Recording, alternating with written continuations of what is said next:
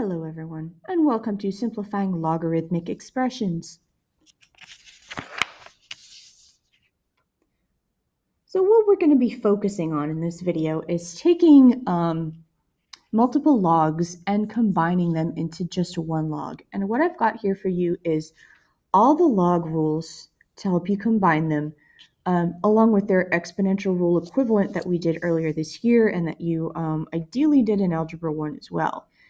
Um, you're not really going to need these right now, so if you want to take a sticky note or something or your fingers and just cover those up so they don't distract you, you can. It's up to you. But we're going to be using these right here. So for the next type of equations we're going to solve, um, you sometimes will end up with multiple logs on one side of an equation, and you need to combine them together so you can do reverse PEMDAS. So we're going to be working on doing that combining. And these only work if the bases are the same. You will not have any problems um, in this class with different bases. There is a base change formula that I can show you if you are um, planning to take SAT or anything like that. But if you take pre-cal, you'll see it. So it's not too bad. But for right now, so let's look at number one. I've got log base 2 of x plus log base 2 of y. And what I want to do is look at my rules and see if there's one that shows a log plus a log. Um, and it's right here. So it's called my product rule. If I have a log plus another log and they both have the same base, then to combine them together, I take their arguments, so in this case the x and the y, and multiply them together, and then I end up with just the one log. Um, and that comes from this exponent rule here, um, that if you have two powers with the same base, you can add the exponents. So you may remember that rule from earlier this year. Um, this is the log equivalent of it. So for number one, I'm going to be using product rule. And then to put these together, I'm going to, um, you know what, let me scoot over because I didn't really myself room to write. Come over here. So to put these together, I still have log base 2, and then I'm just going to do what the rule shows. I'm going to take my two arguments, the x and y, and multiply them together. So log base 2 of x times y. And that's it. Then they're combined into one log, and that's all you have to do. So then check out number 2. Pretty similar, except I'm not adding two logs, I'm subtracting two logs. So looks like I'll be using quotient rule. See, because this shows a log minus another log, and it says I can combine them by dividing the argument. So instead of x times y, I'm going to take x divided by y. So um, quotient rule.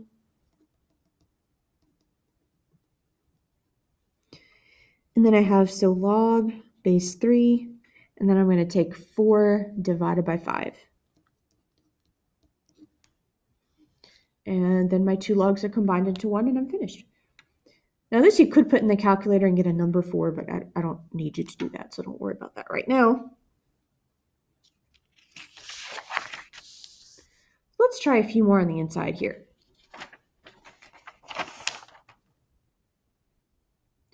So on number three, notice I've got this number hanging out in front of the log. I really only have one log here, but um, there are certain circumstances I may not want that 2 there, for instance. So um, let's see if there's a rule that shows what to do with the number sitting in front of the log. So I'm looking at my rules. Oh, here's one. So this shows a y in front of the log, just a number. And it says that I can put the y as an exponent to the argument. So basically this is going to move up here as an exponent there. So I'm going to write log base 3 of x squared. The parentheses in this case, if you want to put them for clarity, you can put them right there, um, but you don't necessarily need them. So uh, that, that's up to you. I'm just going to leave them off. Well, let's look at the next one. So I have log base 3 of 4x minus Oh, so I know, oh, by the way, that was product rule. Stop me when I forget stuff. Uh, okay, so uh, subtraction, I know I'm going to be using a quotient rule there. And then I know here I'm gonna be able to take that coefficient and just like I did here, so take that coefficient and make it an exponent to the argument. So I'm going to be using power rule. Usually you want to start with power rule. So you might want to write that at the top. When you're combining, you want to start with power rule and then do quotient rule, product rule, just in the, let me try that again. Should be a P for product rule.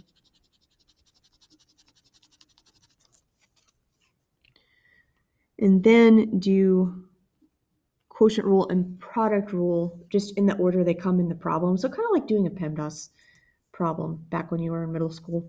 So start with the exponent, the power rule. So I'm going to do this in two steps. So I have log base 3 of 4x, and then minus, now go ahead and do the power rule. So log base 3 of y to the fifth power.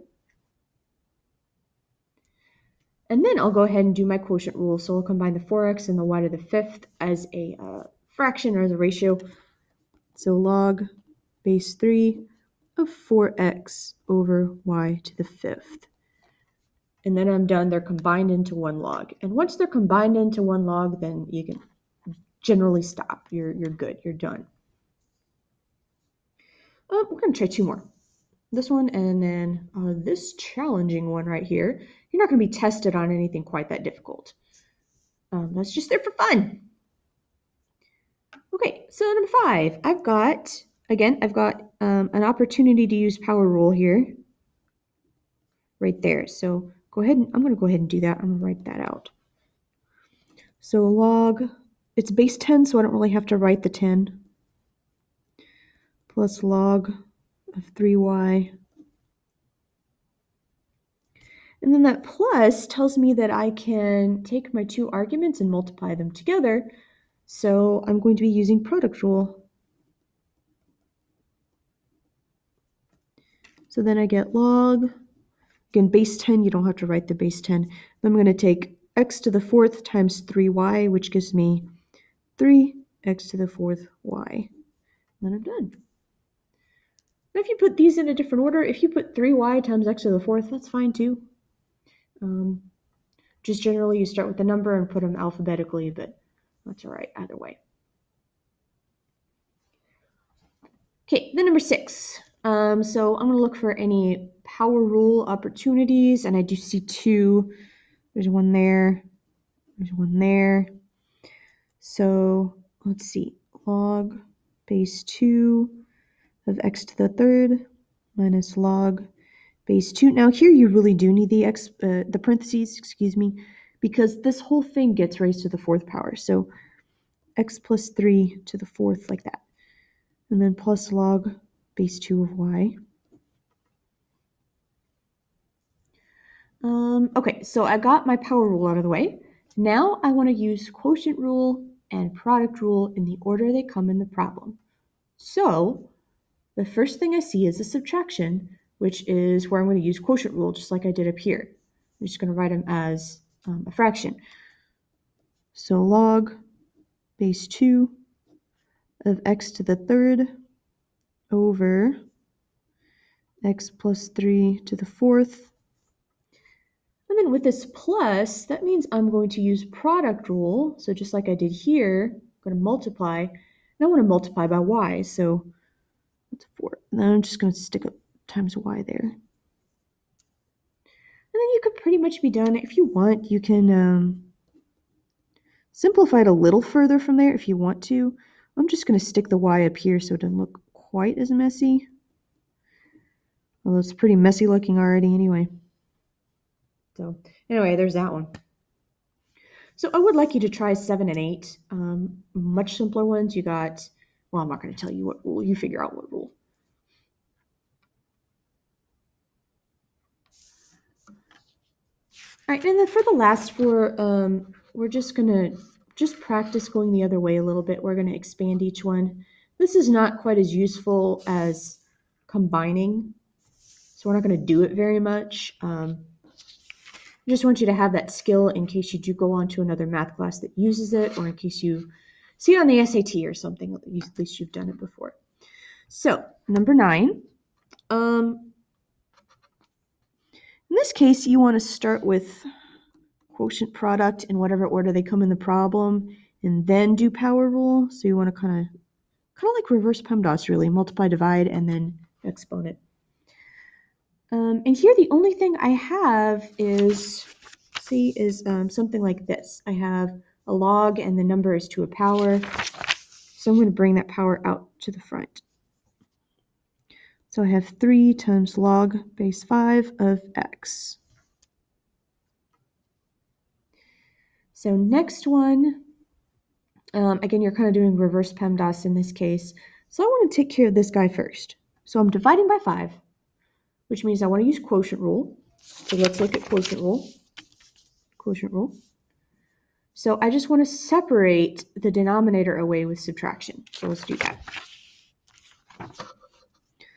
So I have log base 2, and then the numerator goes first, 8x to the fourth, then minus log base 2 5. And then notice this right here, I'm multiplying 8 times x to the fourth.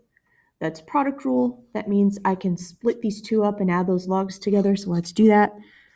So log base 2 of 8 then plus, and then the next one is just going to have the x to the fourth, log base 2 of x to the fourth minus log base 2 of 5. Um, and then check if there's any power rules you can do. And there's one right here. I can bring that 4 out in front. So finally, I'm almost done. Log base 2 of 8 plus 4 times log base 2 of x minus log base 2 of 5. And um, that's it for that one as far as splitting it up. So see if you can do it 11 and 12 then. Um, let me know if you need help with it. And then there is an assignment to pick up. And please remember to let me know when you're done with this so that I can help you on the assignment.